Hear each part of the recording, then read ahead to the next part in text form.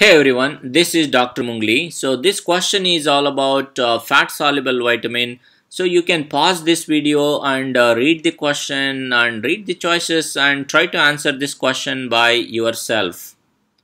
Now let's get into the question. So the question is about a nine-year-old girl okay, uh, who is uh, of European descent. So take a look at that. So European descent here and uh, failure to thrive that's another thing that you need to take a look at that. And also look at the physical findings are positive for multiple nutrient deficiencies.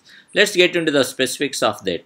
So uh, is positive for increased presence of fat in her stool. So this is something is uh, basically uh, author of this question is uh, trying to give you steatorrhea. Steatorrhea is the condition where there is excess fat in the stool and basically it is indicating fat, uh, fat malabsorption which is going on here. And another important clue here is uh, that uh, this particular girl has uh, elevated uh, sweat chloride levels and uh, elevated sweat chloride levels will give you indication that uh, there, there could be a possibility of cystic fibrosis. As you can see, cystic fibrosis is common in uh, people of European descent and in cystic fibrosis there will be steatorrhea that is excess fat in the stool because there will be fat malabsorption. Why? Because pancreatic juice is not flowing into the intestine and that means uh, digestion and absorption of fats may not be going on properly. Elevated sweat chloride levels will also give the diagnosis. So overall this is a kind of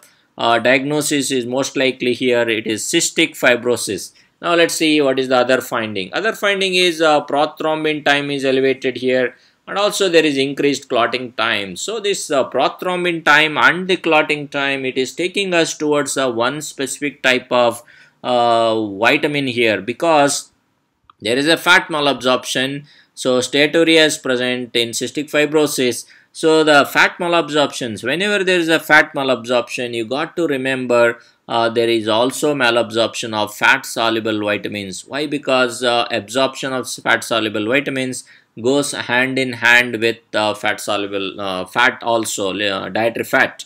So that means we have uh, four fat soluble vitamins, vitamin A, vitamin D, vitamin K and vitamin E.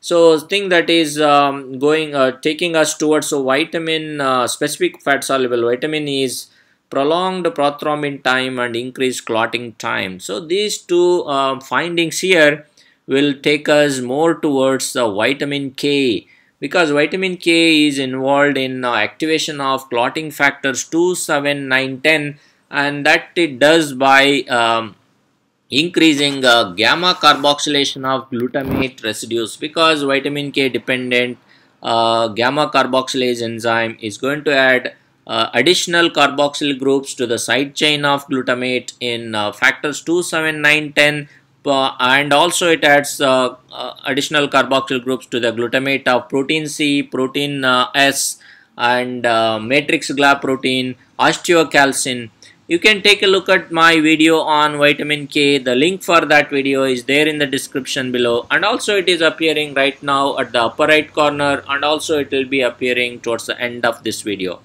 Now, now we know what is the problem here. So we are we are coming to a point where there is a vitamin K deficiency most likely seen in this particular uh, girl. So let's see what is the question. Question is which one of the following types of reactions is most likely decreased in our cells?